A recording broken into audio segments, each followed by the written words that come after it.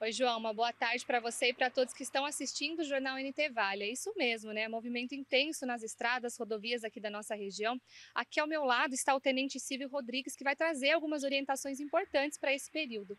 Uma boa tarde, Tenente. Explica para a gente, por gentileza, como que vai ser o trabalho de vocês agora nesse período, o trabalho de orientação, né, preventivo, como que vai funcionar?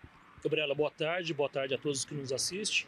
O policiamento rodoviário está desde o começo do mês de setembro já implantando a Operação Romero, juntamente com as equipes do Comando de Policiamento do Interior 1, Corpo de Bombeiro, Polícia Ambiental, o, as equipes do Departamento de Estradas de Rodagem, justamente com foco em proporcionar uma qualidade de estada nesses romeiros que comparecem na nossa região. É, nós estamos com reforço no, no efetivo, bem como é, a entrega de coletes é, refletivos para que esses romeiros se façam visíveis com mais facilidade na rodovia, além da gente dar algumas dicas de segurança. Nós orientamos os romeiros para que evitem aglomerações, evitem estar posicionados lado a lado é, dos que os acompanham no acostamento, preferencialmente se posicionem nas margens da rodovia, fora do acostamento e evitem de transitar na faixa de rolamento se façam visíveis, usem roupas claras, né? É, porque é, isso faz com que o condutor antecipe a presença do, do Romero e consiga adequar a sua condição de dirigibilidade. É, também deve haver um grande movimento em relação a quem vai para o litoral, aqui para a Serra da Mantiqueira.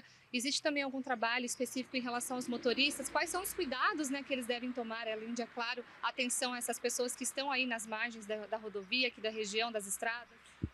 Em virtude do feriado prolongado, a gente tem uma procura muito grande nas rodovias que dão acesso ao litoral e também, agora, cada dia mais, as pessoas que procuram a Serra da Mantiqueira a região do sul de Minas é, nesses feriados. Então a gente orienta para que evitem de fazer ultrapassagem em locais proibidos, respeitem o limite de velocidade, façam uma revisão preventiva no veículo, verifiquem as condições gerais do seu veículo, orientem para que os usuários usem, as pessoas que estão dentro do veículo, utilizem o cinto de segurança, façam um planejamento, contem é, com pontos de parada para pontos de descanso e principalmente, em virtude da quantidade de chuva e de neblina que a gente tem esse, nesse período, o condutor tem que sempre adequar a condição de dirigibilidade dele conforme as condições climáticas.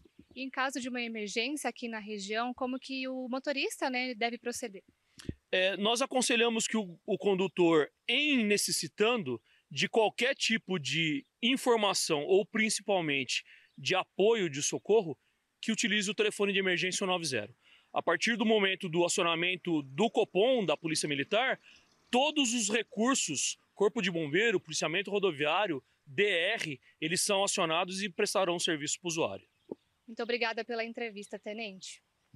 Então é isso, né? É importante ficar atento e para quem vai pegar estrada, é importante evitar, né, aqueles períodos onde o tráfego de veículos é mais intenso. A partir da quarta-feira, né, hoje, é, vai ser mais intenso a partir das 5 da tarde e deve permanecer até as 9 da noite esse movimento grande. E também no domingo, que é a volta do feriado, entre as 3 da tarde até as 9 horas da noite. Agora, com essas informações, eu volto com vocês aí no estúdio.